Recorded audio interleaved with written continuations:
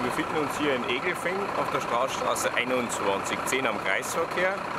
In den Kreisverkehr ist ein Tiertransporter mit Lebendtieren im Anhänger eingefahren, wobei äh, beim Umfahren des Kreisverkehrs der Anhänger umgestürzt ist. Im Anhänger befanden sich 89 Schweine auf drei Ebenen. Von diesen 89 Schweinen wurden 18 Schweine durch den Verkehrsunfall getötet.